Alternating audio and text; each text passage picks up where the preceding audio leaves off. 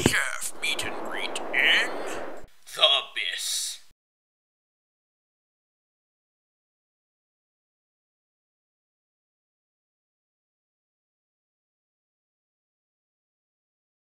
So far we have seen a meat plan with evil intentions.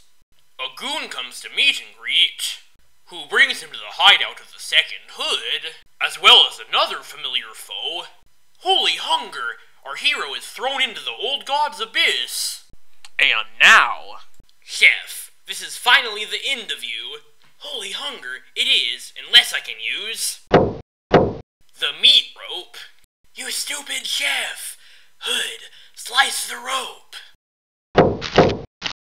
You can't get rid of me that easily. Well, I can still get rid of you, Chef. That's only the beginning, Chef. Now I ask any last words? Yes, actually. Here's one, right here. Too loud! I'll deal with you myself, Chef. No! You frustrate me, Chef, but I have an escape route.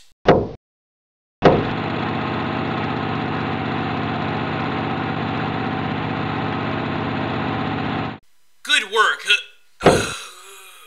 And two weeks later, I think I know who the meat planner is. Only one person can do all this Mr. Black. But he should be at the asylum where I left him. I better go check on him.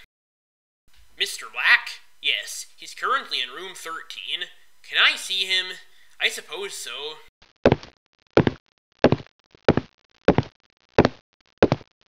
He's barely alive right now, but believe me, we're doing all we can. I can see that, but that means I was wrong. Mr. Black is in no condition to be the meat planner, but if he isn't, then who is?